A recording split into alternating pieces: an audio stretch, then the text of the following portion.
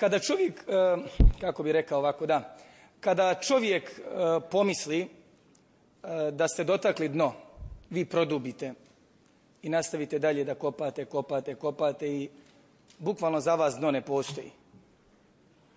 Mislio sam sve ovo što ste radili prethodnih skupštinskih zasjedanja, ali danas ste me iznenadili sa tri stvari. Prvo je nevjerovatno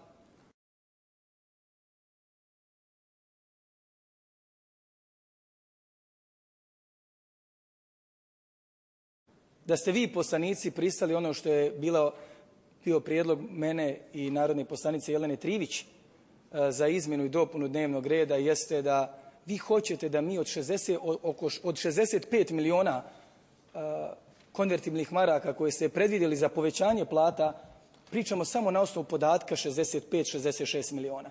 Niti jedan drugi podatak mi nemamo.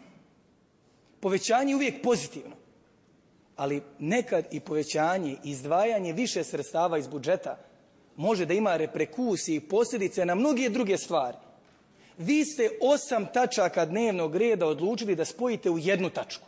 Ja vam postavljam pitanje što čitav dnevni red ne spojite u jednu tačku. I skratite nam diskusiju. I da ovo sve traje pola sata. I da primite platu i da bude sve kako treba. To je vaša želja koja nije normalna. U sedam različitih institucija od prosvjetnih radnika, zdravstvenih radnika, e, ljudi u pravosuđu i svim drugim institucijama. Vi kažete da mi diskusiju stavimo i sastavimo u jednu tačku. To ljudi nije normalno. Ja pitam narodne poslanike, kako ćemo mi odlučivati od, šez, oko, od 65 miliona, o 65 miliona, o tom iznosu, samo na bazi te cifre. Danas treba da izvojimo iz budžeta 65 miliona za šta god daje. Bez ozbiljne analize, bez ozbiljnih informacija, kako da odlučuje danas jedan narodni poslanik? Ja pitam ministricu financija. Postavljam javno to pitanje. Da danas ja kao narodni poslanik računam, gledam i tražim analize. Kolika je to prosječna plata u realnom sektoru, a kolika je to prosječna plata u javnim ustanovama. Jer ja tu ovdje nemam podatak. Pitam vas, ako povećate plate sa 750 miliona, koliko izvajate na 826 miliona, koliko želite da izvajate, za 70 skoro miliona, kakav to utjecaj ima na privatni sektor? Kakav to utjecaj ima na čovjeka koji drži kios, drži prodavnicu? Ima neki svoj štand ili pokušava nešto da otvori? Da li opet pravite jaz između privatnog i javnog sektora, ministrice? Vaša politika je ad hoc.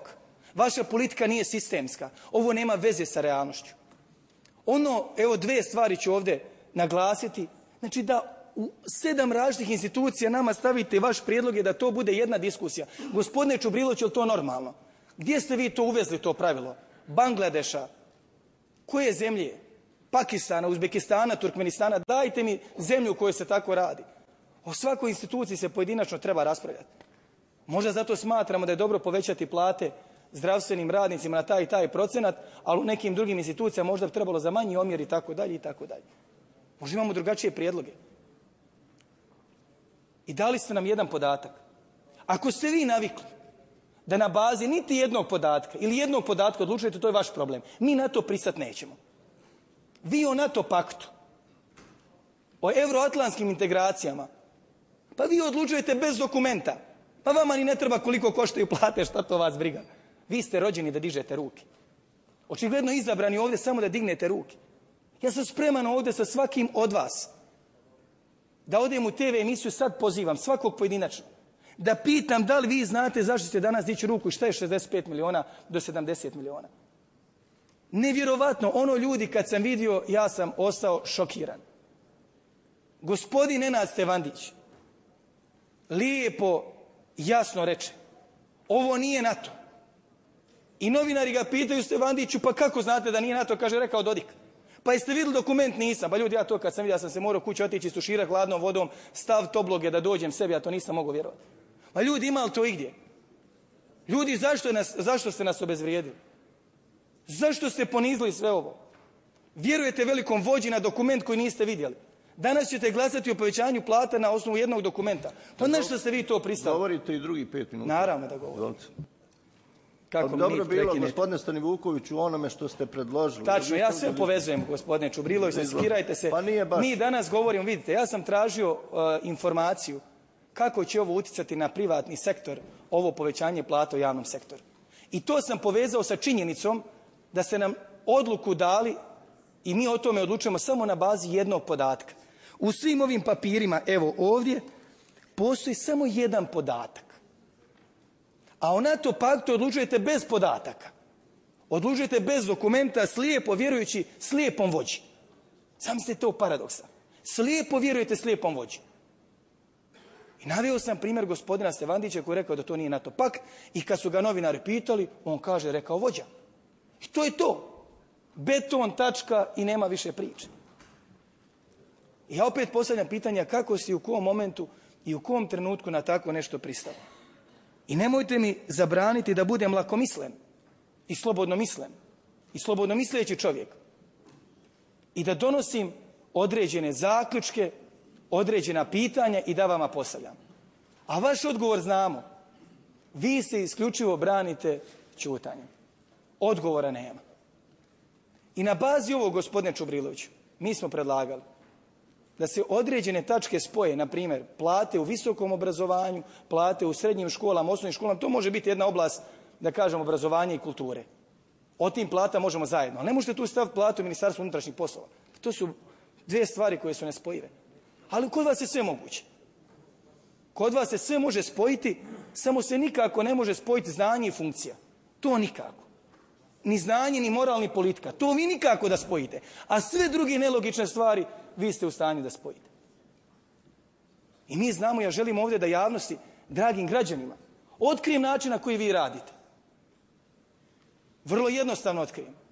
Veliki vođa nešto kaže, 50 papagaja njegovih u stranci to ponavlja.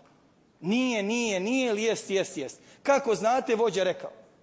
A onda prati RTRS, ATV, Srna i ostali mediji. Sinhronizovano.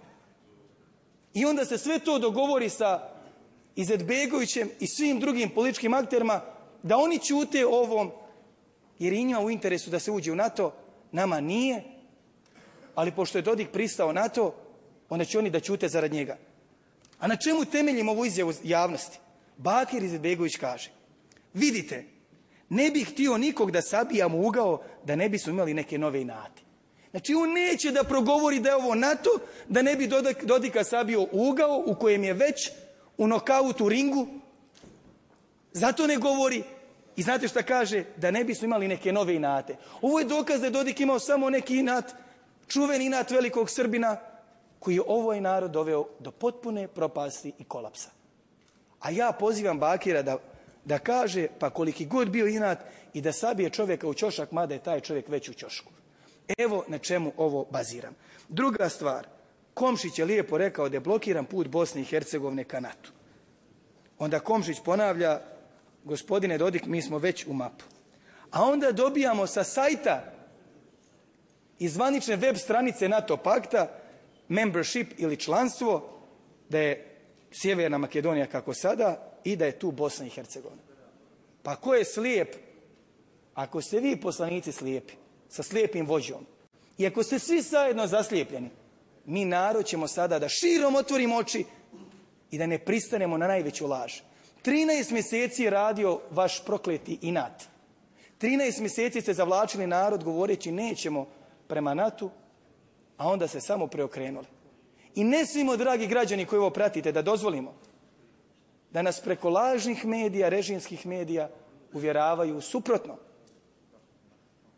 Dovoljno da samo odete, pozivam sve građane da odu na zvaničnu stranicu NATO pakta i da vide. I da ove izjave pojedine trebaju, a neke ne trebaju čitati između redova, bit će sve jasno rečeno.